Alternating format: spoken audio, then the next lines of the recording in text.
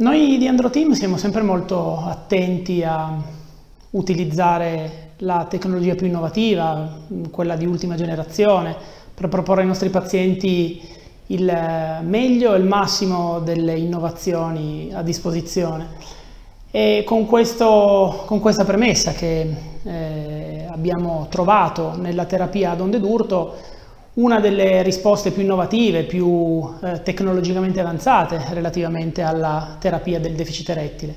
Eh, il deficit erettile è un problema molto diffuso e le terapie da molti anni sono eh, ormai note a tutti, le famose pastiglie che sono in grado di gestire la maggior parte dei, eh, dei problemi di impotenza, ma eh, la terapia, con, la terapia farmacologica ha il difetto di non essere del tutto curativa, cioè non riabilita completamente la muscolatura del pene e consente un ritorno alla normalità, tra virgolette. E allora nel, negli ultimi anni la, la tecnologia da, ha sempre cercato uh, qualcosa per andare più in profondità rispetto alla gestione dei sintomi, ma uh, cerca di curare la patologia. Le onde d'urto si inseriscono eh, in questo tipo di concetto, cioè le onde d'urto tentano di ripristinare la qualità del tessuto erettile eh, permettendo alla persona che ne ha fatto utilizzo di eh, ritornare ad un ringiovanimento, ad una rigenerazione del tessuto che eh, aveva perso o stava perdendo. La storia delle onde d'urto in urologia è in realtà eh, antica per così dire, nel senso che una tecnologia utilizzata già a partire dagli anni 80 per la cura della calcolosi urinaria, infatti eh, le onde d'urto sono state usate per il famoso bombardamento dei calcoli renali o ureterali fin dagli anni 80 e veniva definita appunto litotrissia extracorporea, proprio perché queste onde d'urto di origine meccanica erano in grado di rompere un calcolo eh, convogliate, focalizzate proprio nel punto in cui questo era presente. Eh, negli anni il valore, i vantaggi della terapia con onde d'urto sono stati progressivamente studiati e eh, questa tecnologia è stata applicata alla medicina fisica, riabilitativa, all'ortopedia perché ehm, si sono scoperti via via dei, eh, degli effetti antinfiammatori e antidolorifici che sono stati appunto utilizzati nelle patologie muscoloscheletriche, la tendinite, eh, la periartrite, eh, scapolomerare, del gomito, eccetera e eh, poiché la potenzialità curativa di questa tecnologia è stata eh, evidente a molti personaggi nel mondo, la ricerca è continuata ed è anche ehm, andata verso eh, il versante della, eh, della eh, patologia vascolare. Eh, ad un certo punto, eh, già negli anni 2000, è stato evidente come le onde d'urto potessero agire a livello vascolare eh, contribuendo a eh, ripristinare la qualità dei vasi sanguigni e a crearne di nuovi, la cosiddetta neoangiogenesi. Questo ad esempio è stato evidenziato con studi compiuti su ratti da un gruppo israeliano del dottor Vardi che è stato poi tra i primi ad applicare questa tecnologia in ambito appunto rigenerativo vascolare anche a livello del pene, Vardi eh, scoprì che somministrando queste onde meccaniche a livello dei vasi sanguigni era possibile aumentare la densità di vasi sanguigni di un'area eh, non più vascolarizzata. Ad esempio lui aveva fatto degli esperimenti sui, sulle cavie eh, nelle quali eh, causava un infarto miocardico occludendo una coronaria e poi somministrando le onde d'urto in effetti la capacità ehm, di rivascolarizzazione di questa tecnologia eh, era, era particolarmente evidente. Quindi con questo approccio eh, è stato eh, poi, a partire dal, da una decina di anni fa circa, eh, applicato il concetto delle onde d'urto alla deficit erettile. Con che presupposti? Col presupposto che il deficit erettile nella maggior parte dei casi è un problema di tipo vascolare, cioè i vasi sanguigni per mille fattori di rischio, che non è il caso di analizzare eh, in questo momento, ma eh, mille fattori di rischio possono portare ad una riduzione del flusso sanguigno e di conseguenza una minor tenuta o un minor vigore dell'erezione. Le onde d'urto sono delle onde meccaniche che quando vengono focalizzate sul tessuto erettile sono in grado di creare la cosiddetta neoangiogenesi, cioè promuovono la creazione di nuovi vasi sanguigni. E questo avviene eh, grazie al fatto che l'onda d'urto stimola sui vasi sanguigni la produzione di eh, una serie di fattori di crescita di tipo endoteliale vengono definiti che hanno la funzione di attivare una cascata di eventi che porta all'aumento di densità dei vasi sanguigni e ad una riparazione, una rigenerazione del, eh, del tessuto dei vasi sanguigni alterati. Questo si concretizza evidentemente in un maggior afflusso di sangue al pene, quindi una maggior quantità di sangue che entra all'interno dei corpi cavernosi e quindi partecipa al, eh, a creare una erezione molto più eh, rigida rispetto al nostro punto di partenza. Quindi eh, nel tempo le onde d'urto sono state eh, studiate anche dal punto di vista fisico per raffinarne eh, le caratteristiche, le modalità di erogazione, la focalizzazione eccetera. A noi non basta applicare delle onde d'urto al pene per promuovere questi effetti, ma dobbiamo focalizzarle eh, in punti precisi, dobbiamo permettere a queste onde d'urto di eh, di non arrivare troppo in profondità nei tessuti, ma, eh, ma di arrivare ad un certo livello di, di penetrazione e soprattutto l'intensità di queste onde è importante eh, per innescare la reazione di neoangiogenesi. Quindi proprio dal punto di vista tecnologico, dal punto di vista fisico, è importante dotarsi di un'apparecchiatura che eh, per capacità di focalizzare le onde, per capacità di penetrazione, per capacità di intensità e, e di frequenza delle onde, eh, sia in grado di eh, mh, ottenere un equilibrio tra tutti questi parametri in grado di innescare in modo efficace questa riparazione, questa, eh, questa um, cascata biochimica di eventi. Per questo motivo noi abbiamo scelto appunto di utilizzare la macchina Storz Duolit eh, che mette insieme i concetti che ho esposto fino a questo momento eh, e ci permette di focalizzare delle onde d'urto a bassa intensità nelle zone eh, del pene che favoriscono eh, l'innesco di questa reazione di neoangiogenesi.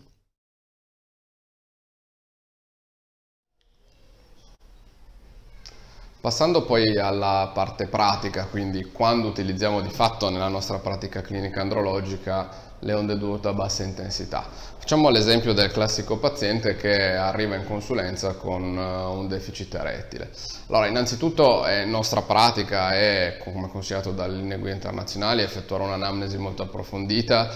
e valutare la storia clinica del paziente. Soprattutto è importante capire di fronte a un paziente che ci viene a chiedere una consulenza sulla problematica di impotenza che cosa è stato già fatto sia a livello strumentale diagnostico che anche a livello terapeutico perché questo ovviamente per noi è uno step fondamentale per decidere quale miglior approccio terapeutico utilizzare. Questo per farvi capire che l'onda d'urto non viene utilizzata, almeno nel nostro studio, in maniera indiscriminata per tutti i pazienti, ma per una uh, specifica diciamo, fetta di pazienti affetti da deficit erettile, che però è abbastanza larga, nel senso che eh, l'esperienza e anche quello che eh, sono gli studi internazionali hanno fatto vedere di fatto che possono beneficiare di questo tipo di trattamento diverse tipologie di paziente. Sicuramente quello più classico, più, uh, in cui è più indicata questa terapia è il cosiddetto paziente naif per qualsiasi tipo di trattamento, cioè il paziente che ha una prima diagnosi di deficit erettile, che non ha provato nessun tipo di trattamento, per esempio farmacologico, i classici diciamo, inibitori delle fosfodiesterasi, vasodilatatori, e quindi in questa categoria di pazienti effettivamente un'indicazione al trattamento dell'orte d'urto a bassa intensità può essere corretto e può dare degli ottimi risultati.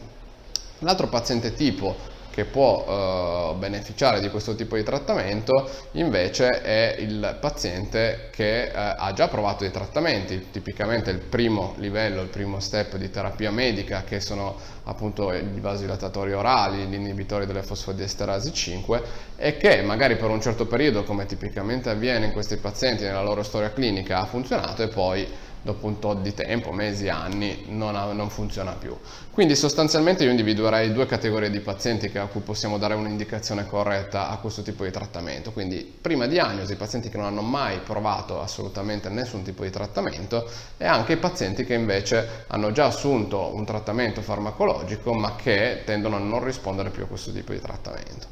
Allora, quando e come muoversi, cioè esiste una categoria di pazienti che può con maggior probabilità rispondere a questo tipo di trattamento. Allora, diciamo che l'incidenza di risposta positiva è intorno all'80%, quindi una buona fetta dei nostri pazienti andrà a rispondere, ma questo ovviamente è collegato anche alla corretta indicazione, cioè se noi individuiamo correttamente il paziente eh, che con maggior probabilità per caratteristiche cliniche potrà rispondere a questo tipo di trattamento, ovviamente il tasso di soddisfazione può vai a salire. E a noi quali sono gli elementi fondamentali? Innanzitutto i fattori di rischio, cioè il paziente che ha fattori di rischio cardiovascolari, forte fumatore, che assume molti farmaci, che ha avuto diciamo, patologie cardiovascolari, come per esempio dei progressi infarti, ovviamente avrà delle probabilità lievemente minori di poter ottenere eh, un successo di trattamento. Ma noi personalmente eh, tendiamo a fare uno screening, cioè a capire quale paziente eh, può rispondere meglio alle onde d'urto rispetto ad un altro con un esame strumentale che viene fatto sostanzialmente in loco che è il cosiddetto ecodoppler penieno dinamico, cioè un'ecografia che permette di studiare la struttura del pene, la vascolarizzazione del pene e soprattutto la vascolarizzazione cosiddetta effettiva, efficace, nel senso che la dinamicità dell'esame sta nel fatto che viene indotta di fatto una reazione farmacologica e durante le varie fasi della reazione si studia la risposta vascolare. Abbiamo notato nella nostra personale esperienza che quei pazienti che hanno un pattern di danno vascolare microvascolare, quindi nelle caverne del, del, corpo cavernoso, che sono sostanzialmente delle strutture spognose che dovrebbero dilatarsi accogliendo il sangue all'interno indurre una perfetta erezione, là dove viene a mancare una, c'è una dilatazione cosiddetta incompleta, Uh, c'è una maggiore associazione in soddisfazione di risposte, quindi miglior risultato nel trattamento con l'onde d'urto. Quindi per noi questo è uno step abbastanza fondamentale che consigliamo a tutti i pazienti perché ci permette sostanzialmente di dare più garanzie di una corretta diciamo, indicazione e una miglior risposta e tasso di soddisfazione da parte del, del paziente, quindi questo è estremamente importante. Allora, su quello che eh, noi discutiamo sempre col paziente, un altro fattore estremamente importante è eh, l'effetto della durata, cioè le onde d'urto eh, quanto tempo ci mettono a dare effetti e soprattutto quanto dura questo effetto, un effetto long life per tutta la vita, un effetto per un certo periodo determinato. Allora, qui ci vengono un pochino incontro gli studi scientifici che sono adesso ampiamente pubblicate nella letteratura ci dicono che sostanzialmente il maggiore, il picco diciamo, di risultato si ha circa un mese dalla fine del trattamento, uh, quindi dopo i sei diciamo, sedute di trattamento a un mese si ha il picco, però effettivamente nella nostra esperienza è un picco progressivo, cioè già eh, le prime sedute fanno vedere solitamente quando c'è un trend positivo un piccolo miglioramento progressivo fino a raggiungere effettivamente l'apice ad un mese. Sulla seconda domanda, che questa è estremamente importante, quanto dura il trattamento? Beh, Ovviamente è una tecnologia abbastanza recente, quindi non abbiamo degli studi oltre 10, 15, 20 anni, quindi sul lunghissimo termine non sappiamo garantire al paziente il risultato, però quello che possiamo dire è che ad oggi, ad un anno, quasi più dell'85% dei pazienti mantiene un buon risultato. Poi tendenzialmente, progressivamente, ovviamente un piccolo numero inizierà a, a ridurre gli effetti. La cosa estremamente importante che sottolineo è eh, la uh, possibilità di ripetere il trattamento, cioè il gran vantaggio delle onde d'urto è che è un trattamento che non dà nessun tipo di controindicazione, nessun tipo di effetto collaterale e che quindi noi possiamo considerare laddove c'è stata una risposta positiva e poi per la normale diciamo, evoluzione una riduzione dell'effetto poterla ripetere. Quindi questa è un'altra cosa che ci interessa sottolineare, nel senso la maneggevolezza di questo tipo di trattamento.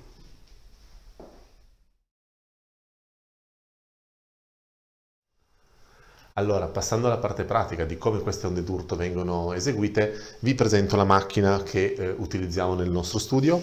È una macchina dotata appunto della fonte di energia e di un manipolo con cui eh, noi andremo ad applicare le, le onde d'urto, questi stimoli fisici, al, al, pene del paziente. Il manipolo per essere eh, attivato deve innanzitutto avere del silicone che funziona da trasduttore tra la generazione delle onde d'urto che arrivano alla, alla, base del manipolo e il trasmissore che è la parte di silicone che viene applicata, il cuscinetto di silicone che viene applicato al, al pene, questo viene fissato da, questo, da questa ghiera di plastica. La parte di silicone che rimane eh, esposta e la parte che viene applicata eh, a livello del pene nelle zone che andremo a vedere. A questo punto il manipolo sostanzialmente pronto, bisogna andare a selezionare il programma di trattamento dalle, dalla, dalla macchina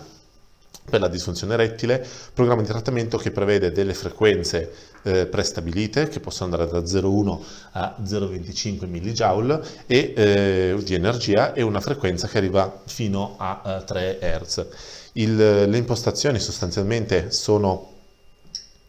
sono standard, partiamo sempre da un'impostazione al massimo della frequenza, solo in caso in cui il paziente abbia un'eccessiva sensibilità si possono comunque ridurre i parametri. I colpi eh, emessi per ogni sessione sono circa 3000 e con questo settaggio la seduta di onde d'urto dura circa un quarto d'ora, 20, eh, 20 minuti. Nel, nell'applicazione di queste 3000 onde eh, il, andiamo a stimolare con le onde fisiche eh, diverse zone del, del, pene. Si comincia appunto con applicare 1000 onde d'urto alla metà alta del pene, 1000 onde d'urto, 1000 onde d'urto alla metà bassa del pene, quindi verso la radice, e le ultime 1000 vengono divise in 500 colpi a destra e 500 colpi a sinistra alla radice dei corpi cavernosi, in modo da dare uno stimolo lungo tutta l'estensione del corpo cavernoso per avere una stimolazione che va a coinvolgere tutta l'arteria cavernosa che origina dalla radice del pene fino ad arrivare appunto all'estremità. Durante il trattamento generalmente il paziente può avvertire una sorta di formicolio, di pizzicotto eh, nella zona del, in cui viene applicata l'onda d'urto, questa sensazione è generalmente ben tollerata, non, non c'è quasi mai nessuno che richiede la sospensione del trattamento durante la seduta e non richiede neanche una terapia eh, antidolorifica post, post trattamento, quindi non ci sono limitazioni o preparazioni da fare prima delle onde d'urto e una volta passato il quarto d'ora in, in, studio per il trattamento, il paziente può tornare alla sua vita normale riprendendo attività fisica, sportiva, eh, eventualmente anche attività sessuale se, se lo desidera e, eh, ed è assolutamente libero fino al, al, trattamento successivo. Generalmente si fanno sei sedute di trattamento, una settimana e eh, che organizziamo solitamente sempre negli stessi giorni, quindi sempre, l'esempio sempre il venerdì per dare una continuità al, di terapia.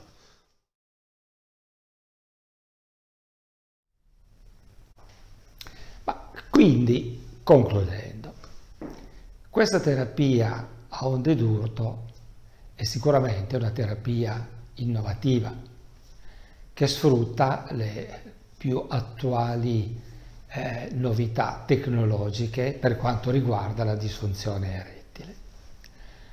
Rispetto alle terapie tradizionali, quelle un pochino più conosciute, ha indubbiamente dei vantaggi che poi andremo un attimino a elencare, ma non esclude le altre terapie, anzi le può affiancare e può migliorarne il risultato potenziandone eh, l'attività. Quali, quali sono quindi le caratteristiche principali di questa terapia? Innanzitutto è una terapia tollerata benissimo queste onde d'urto non evocano dolore, non sono dannose per l'organismo e possono essere somministrate a qualunque individuo, anche individui con patologie particolari. Possono essere somministrate ai diabetici, ai vasculopatici. E non esistono delle controindicazioni assolute all'esecuzione di questa terapia. Quindi una terapia che noi possiamo effettuare a tutti, ma non la proponiamo a tutti perché ha delle indicazioni ben precise, cioè non è la bacchetta magica. Come funziona? Funziona migliorando la circolazione dell'organo. Quindi va bene in tutti i casi in cui il paziente non ha un'erezione completa a causa di un problema circolatorio, non di un circolatorio grave assoluto, ma di una forma medio-lieve. E in questa categoria rientrano la quasi totalità, ad esempio, dei fumatori, dei soggetti con aterosclerosi, dei soggetti dislipidemici. Rispetto ad altre terapie che tendono a migliorare in modo transitorio solo eh, la, la, funzione sessuale, quindi che farmaci che vengono assunti solo in previsione di un rapporto sessuale, questo è un intento curativo. Cioè queste onde d'urto, attraversando i tessuti, creano quella che si chiama la neoangiogenesi, cioè si formano delle nuove eh, vie arteriose, delle piccole vie arteriose che migliorano la circolazione un, del, del pene, dell'organo e quindi con l'andare del tempo possono risolvere in modo completo, si spera, la, la problematica dell'individuo.